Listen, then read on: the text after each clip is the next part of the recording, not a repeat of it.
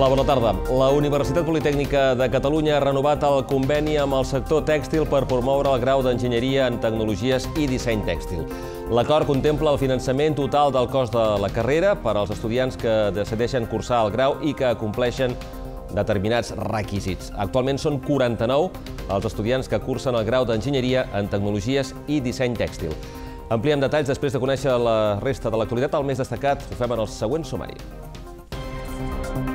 L'alcalde ha aconseguit que els responsables de Moventis es comprometin a mantenir els drets laborals dels treballadors de Temesa. La setmana que ve s'hauria de signar la declaració d'intencions. Més de 30 restaurants participaran en la setena tardor de caça i bolets. Entre el 31 d'octubre i el 30 de novembre oferiran plats i menús de tardor amb bolets i productes de caça. Demà arrenca una nova edició dels Special Olímpics a Barcelona i Calella. Terrassa estarà representada per la Fundació Paradís que portarà 38 esportistes i Crespi Esport amb 4. La UPC ha renovat aquest matí amb sis institucions el conveni per promoure el grau d'enginyeria en tecnologies i disseny tèxtil. L'acord contempla el finançament total del cost de la carrera. L'Escola d'Enginyeria de Terrassa és l'únic centre universitari de l'Estat que oferta aquest grau. La Universitat Politècnica de Catalunya ha renovat el conveni amb el sector tèxtil per promoure el grau d'enginyeria en tecnologies i disseny tèxtil. Després de 4 anys de col·laboració Universitat-Empresa, els estudis universitaris tèxtils han experimentat un creixement en alumnes matriculats del 400%. Actualment són 49 els estudiants que cursen el grau d'enginyeria en tecnologies i disseny tèxtil.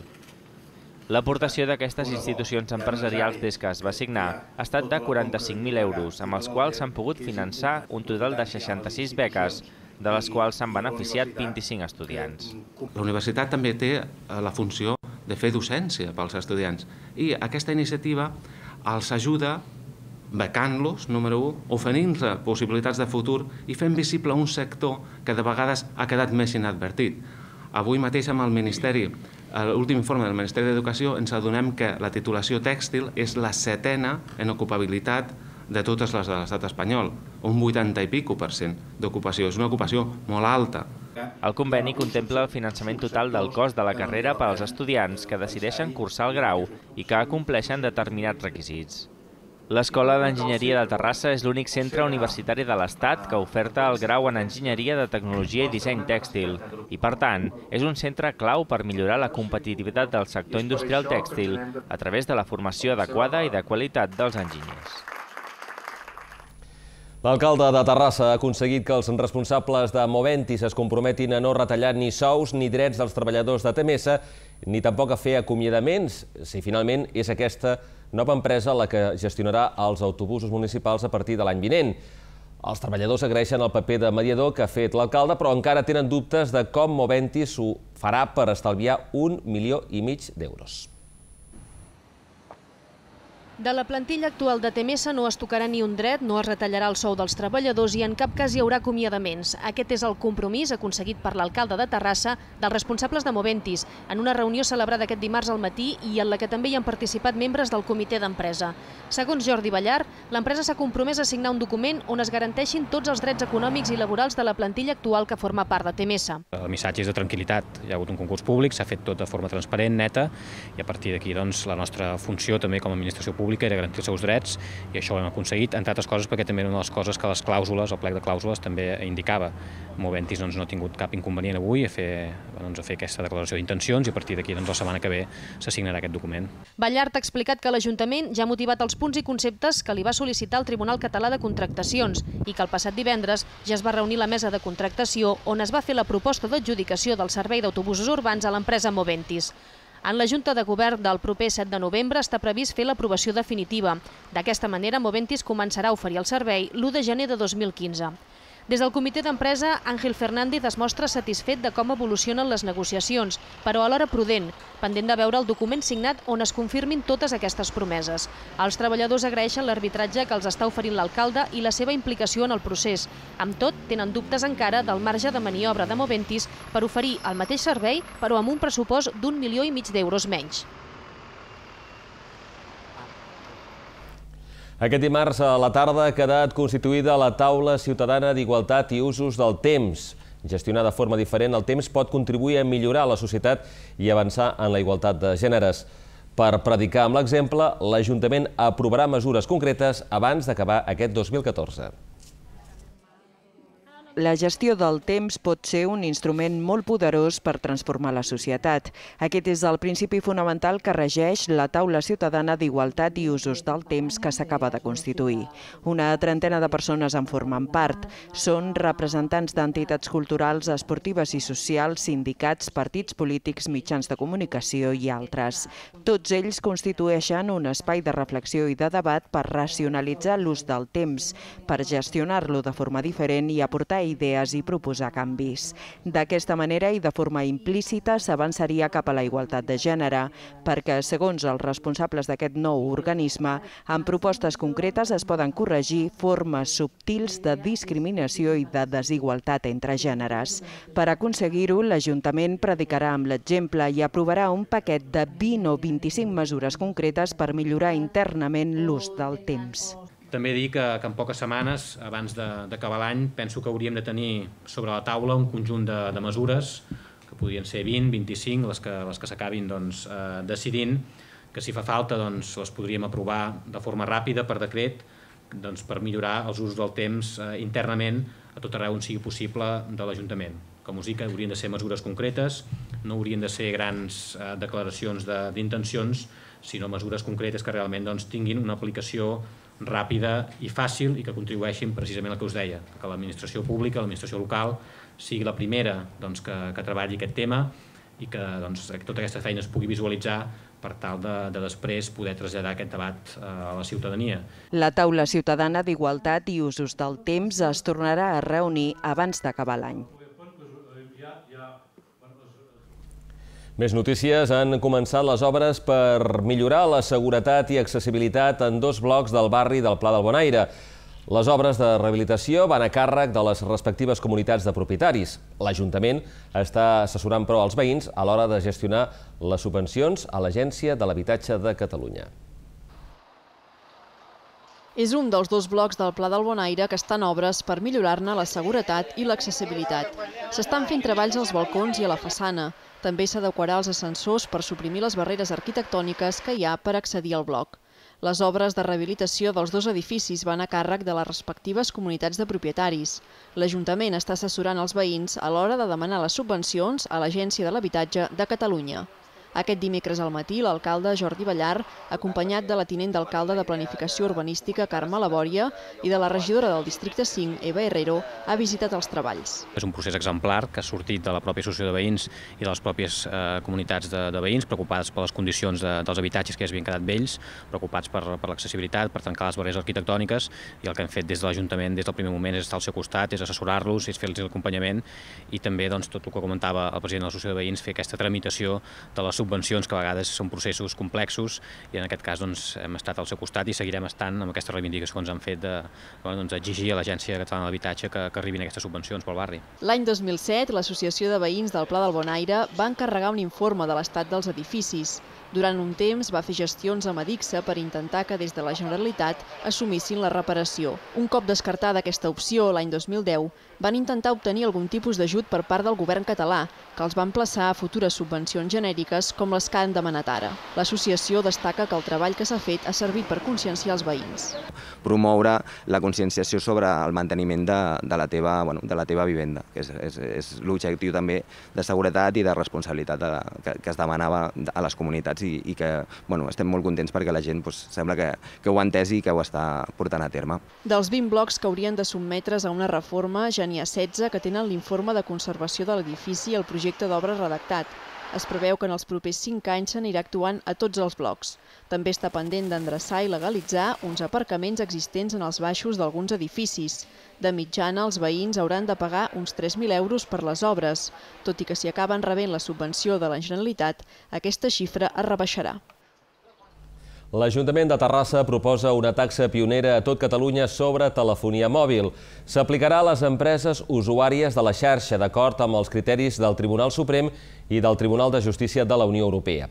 Les companyies van recórrer l'anterior ordenança local, en vigor des del 2006, però a partir de l'any que ve hauran de pagar aquesta nova ordenança.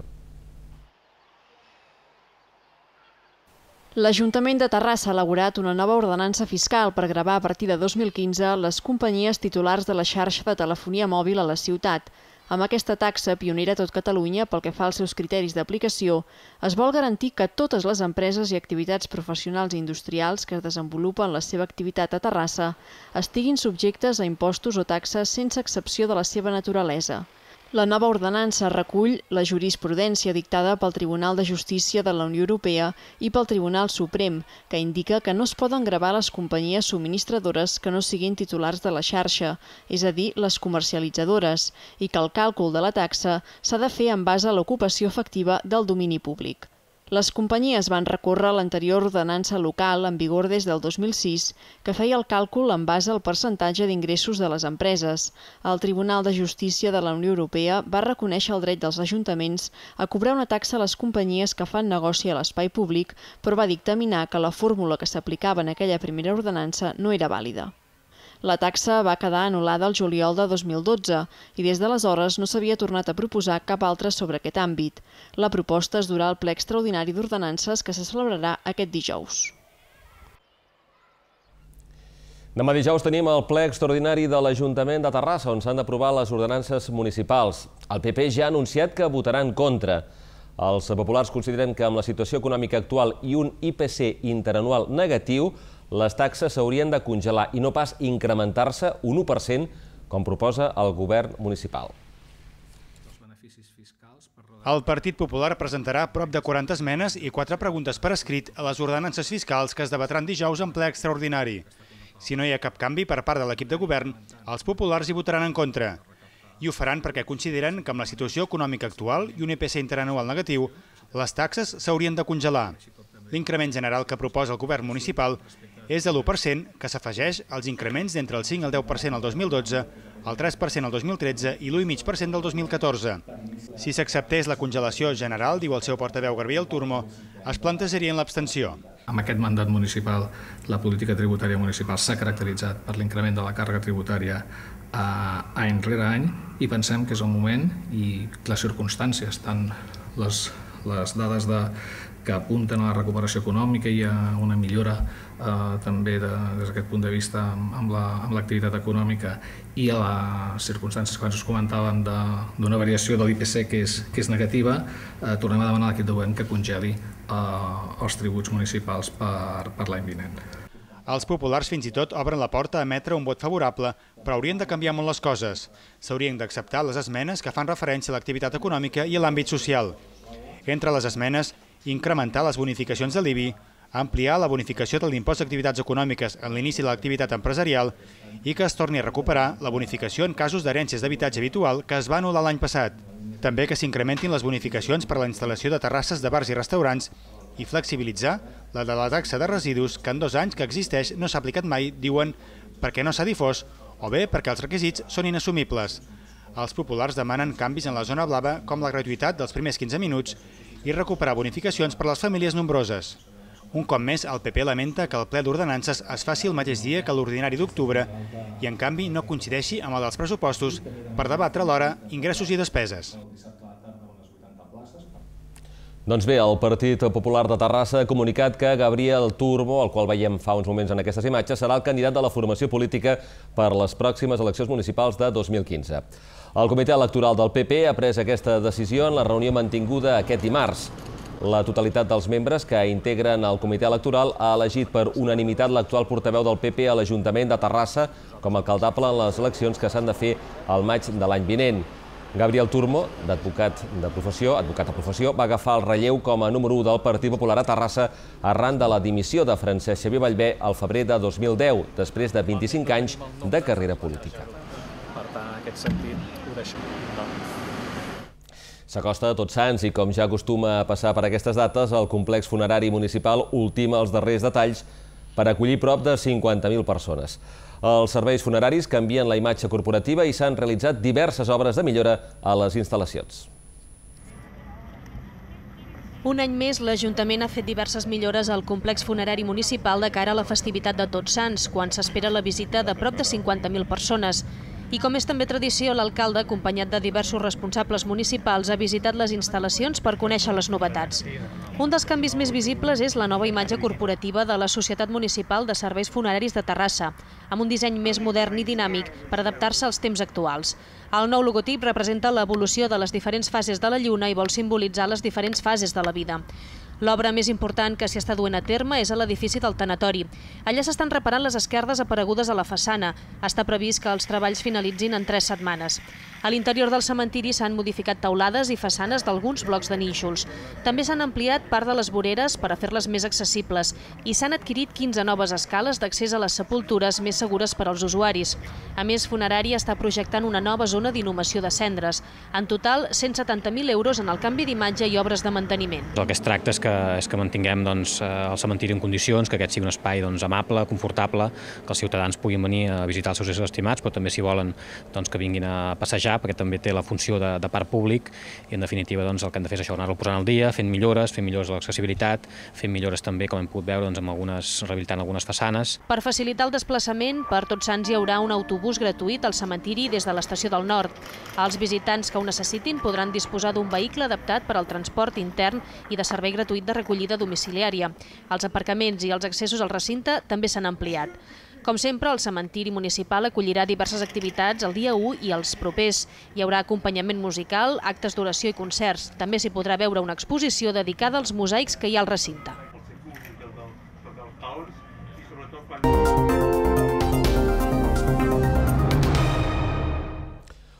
Un total de 30 restaurants seran a les jornades gastronòmiques i la Fira del Bolet que comencen aquest divendres. Fins al 30 de novembre oferiran plats i menús de tardor, principalment elaborats amb bolets i productes de caça. La Fira del Bolet ocuparà el 8 de novembre als voltants del Mercat de Sant Pere. Arriba la setena edició de Tardor de Caça i Bolets, el programa d'activitats que agrupa les 17enes jornades gastronòmiques, la novena Fira del Bolet, rutes turístiques, sortides i degustacions. Entre el 31 d'octubre i el 30 de novembre, més de 30 restaurants participen en les jornades gastronòmiques per oferir plats i menús de tardor, principalment elaborats amb bolets i productes de caça. D'altra banda, la Fira del Bolet ocuparà el 8 de novembre als voltants del Mercat de Sant Pere i bona part del carrer Ample. Degustacions, xerrades sobre micologia, receptes de cuina i d'altres productes tradicionals estaran repartits per les gairebé 40 parades que s'instal·laran durant tota la jornada. Dins del programa de tardor també es poden fer paquets turístics, excursions a la natura, cursos, xerrades i exposicions. Penso que hem assentat les bases amb la terrassa gastronòmica, amb tot un calendari molt ampli de, d'actuacions, de, de jornades. Crec que el que hem estat fent els darrers quatre anys, d'aquí 13 o 14, ens, ens servirà per treure pit i per dir que Terrassa és diferent per moltes coses. Ja creiem que la, la fira està més que consolidada a la ciutat. A la ciutat i a fora de la ciutat, perquè és una cosa que té, ja comença a agafar molt, molt de ressò i el que es tracta és de donar-nos a conèixer a tot arreu. Aquesta és una tradició relativament nova, però que s'ha construït sobre bases molt sòlides i molt antigues i que formen part del nostre passat i la nostra identitat. El bosc, la muntanya, els bolets, la caça...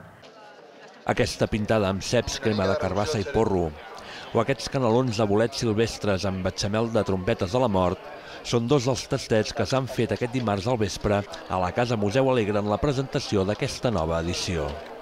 Ja fa set anys que les jornades gastronòmiques i la Fira del Bolet s'aixopluguen junt amb d'altres activitats dins un mateix programa, impulsat pel Gremi d'Hostaleria, l'Eix Comercial Sant Pere i l'Ajuntament de Terrassa i que vagi molt de gust. L'Ateneu Terrassenc ha acollit aquest dimarts a la tarda el comentari i lectura de l'article La Terrassa medieval de l'historiador local Salvador Cardús i Florença. L'acte ha tingut com a protagonista Francesc Cardús i Grau, que ha estat l'encarregat de fer el comentari i lectura de l'esmentat article. L'activitat ha anat acompanyada de la projecció d'algunes de les obres de l'artista que acompanyen els textos. El comentari i lectura sobre l'obra La Terrassa Medieval s'ha fet amb motiu del 65è aniversari de la mort d'en Mateu Avellaneda.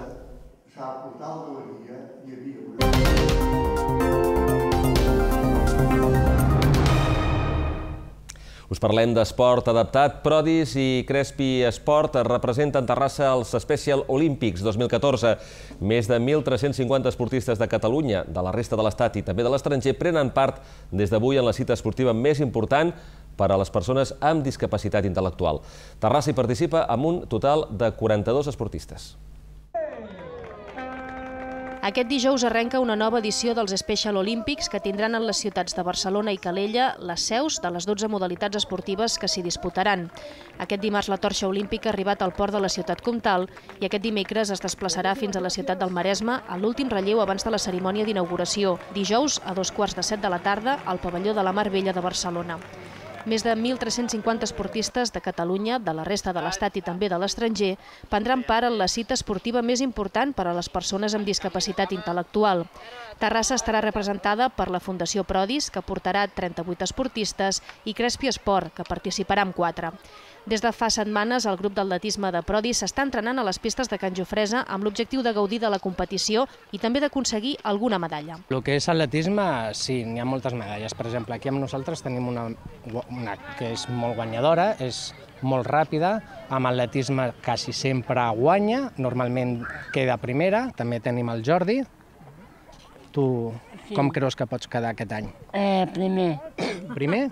Sí. Pues ell va amb la intenció de quedar primer i segur que s'esforçarà per aconseguir-lo i si no ho aconsegueix quedarà segon i si no tercer.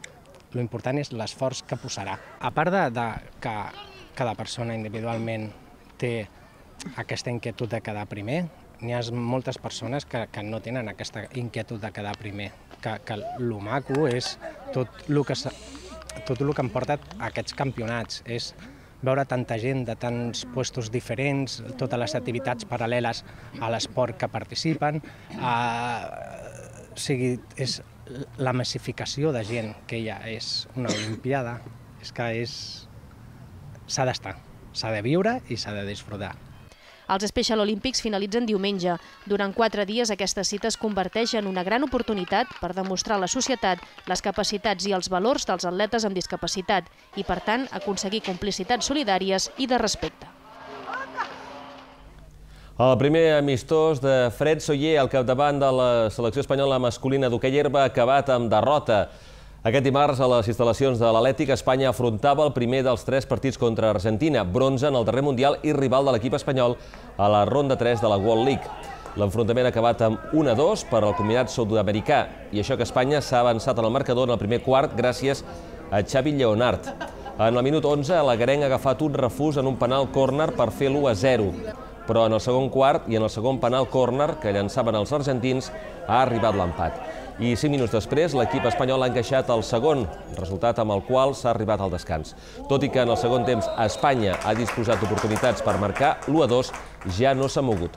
Aquest dimecres, les instal·lacions del Club acolliran el segon partit entre totes dues seleccions. Serà també a dos quarts de cinc de la tarda. Parlem de natació. El nedador Albert Puig es va classificar en desena posició a la jornada d'hivern de la Copa Catalana de Fons. En categoria femenina, la millor classificació de la delegació garenca va ser per a Paula López, dotzena. Els guanyadors de la competició van ser Héctor Ruiz, del Club Natació Mataró, i Erika Villaécija, del Club Natació Sabadell. Un total de 60 nedadors, 39 en categoria masculina i 21 més en femenina, van participar el passat dissabte en la jornada d'hivern de la Copa Catalana de Fons de Natació. La competició, sobre una distància de 5.000 metres, es va disputar a les instal·lacions del Club Natació Terrassa. En l'apartat masculí, la victòria va correspondre a Héctor Ruiz, del Mataró, que va aturar el crono en 54 minuts, 53 segons i 60 centèsimes. El segon lloc va correspondre a Joan Casanovas, del Sabadell, que va establir una millor marca catalana de 17 anys, mentre que el seu company d'equip, Marc Vives, va completar el podi.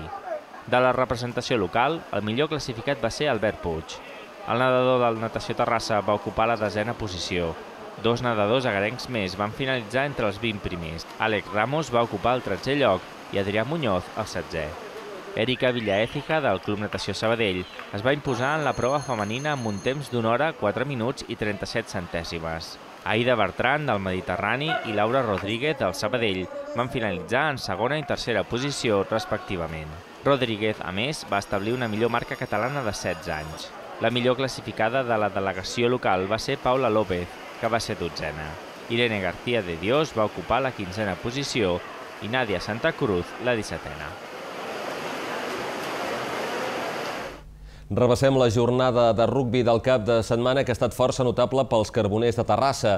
El seu equip femení va aconseguir diumenge els primers punts de la temporada. Les agrenques van empatar a 15 amb el BUC, el Barcelona Universitari Club, a Can Jofresa, en partit corresponent a la quarta jornada de la segona catalana. Tot i que les barcelonines van agafar avantatge en el marcador, les carboneres van retallar les diferències i a 5 minuts per al final van fer la marca de l'empat. Penúltimes amb dos punts, reben diumenge la visita del Cué al Martorell, una bona oportunitat per aconseguir la primera victòria de la temporada. Per la seva banda, el primer equip masculí continua intractable i en aquesta jornada va derrotar a domicili el Buc a la Fuixarda per 12 a 25. El sènior B dels Carboners, en canvi, va perdre per 29 a 5 amb el Cornellà, aconseguint, però, el primer assaig de la seva curta història. Moment ara per parlar d'esquaix. L'esquaix Marconi ha celebrat el seu 30è aniversari amb un torneig molt participatiu. La competició estava dividida en quatre categories en les modalitats d'esquaix i de soft racket. El Club Agarenc arriba a aquesta efemèride com a únic club català que es dedica exclusivament a aquests esports. L'esquaix Marconi està d'aniversari. Fa 30 anys que va néixer aquest club, l'únic a Catalunya exclusivament en la dedicació a l'esquaix i a una altra modalitat de moda els darrers anys, el soft racket. Per celebrar-ho, l'entitat va organitzar el passat cap de setmana un torneig on van participar-hi 30 persones. La competició estava dividida en quatre categories. En Squash 1, la victòria va correspondre a Narcís Sánchez. Enric Arnau i Andrés Romero van finalitzar en segona i tercera posició. En categoria infantil, el triomf va ser per a Noel Ita. Ferran Vilalta i Víctor Pozo van completar el podi. En soft racket 1, Pau Honorato es va fer amb la primera posició, seguit d'Enric Tebar i de Ramon Vila. En la categoria de més de 55 anys, la victòria va correspondre a Manel Fernández. Segon va ser Martín La Cueva i tercer Pere Ràdua.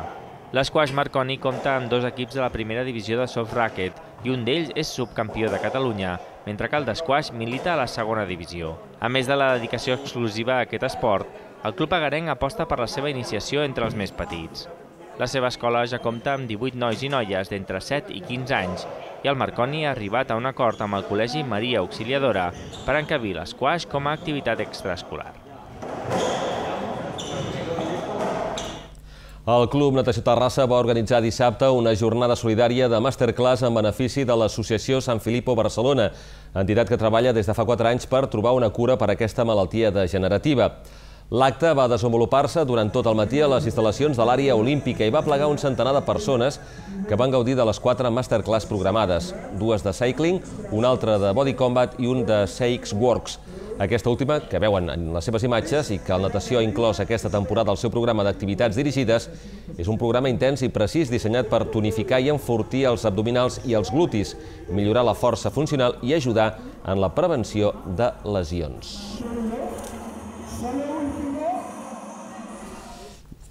I acabem aquí a l'informatiu. Gràcies eh, per acompanyar-nos. Eh, poden seguir l'actualitat a Canal Terrassa Vallès, també a la ràdio municipal i per internet a terrassadigital.cat. Bona tarda.